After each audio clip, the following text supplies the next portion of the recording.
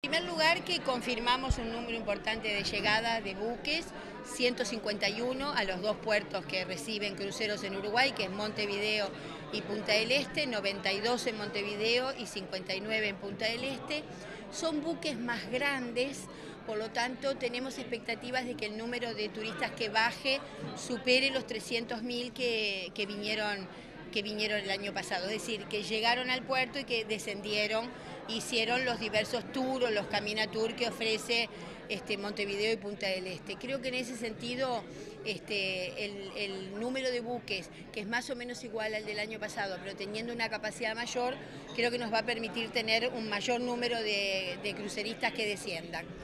Usted decía que la temporada de cruceros ya comenzó, ¿hasta cuándo se extiende? Se extiende hasta el mes de abril, eh, empieza los primeros días de octubre, primeros días de noviembre y, continúa hasta el mes de abril. En cuanto a ingresos eh, de divisas, eh, ¿cuál es el aporte del crucerismo al país? El año pasado descendieron 300.000 visitantes y eh, dejaron en divisas 11 millones de dólares. Eso es el gasto que hacen los turistas que descienden. Pero la actividad económica alrededor del crucerismo tiene también otros factores que tienen que ver con las compras que los barcos hacen de agua mineral, de combustible, de fruta, de verdura, de flores incluso de trabajo que se contrata en el Uruguay, afinadores de piano, algunas este, incluso actividades que estaban casi este, desaparecidas volvieron a,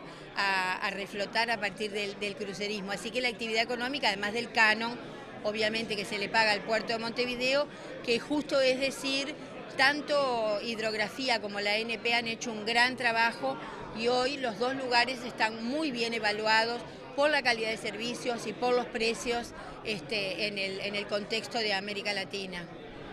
Usted anunciaba que en el marco de la eh, próxima CIA Trade en Estados Unidos eh, se estaba trabajando de forma conjunta con Argentina. Eh, ¿Puede comentar cuál es el contenido de este trabajo? Sí, en la última reunión que tuvimos con el ministro de Turismo de Argentina en el marco de la Feria Internacional de Turismo, que fue en el mes de octubre,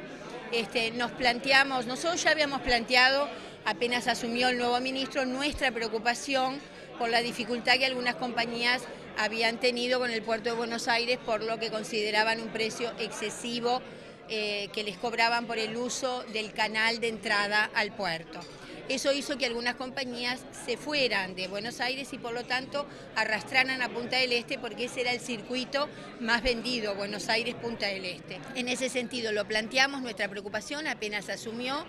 Este, realmente el ministro fue muy activo, si bien no depende directamente de él, tiene que ver con otro ministerio, con el Ministerio de Transporte, pero hemos avanzado mucho y sí decidimos los dos ministerios de turismo estar en un área conjunta en la feria de cruceros de Fort Lauderdale, que es en marzo, este, para poder empezar a trabajar con el concepto de región, que es lo que realmente el crucerismo necesita.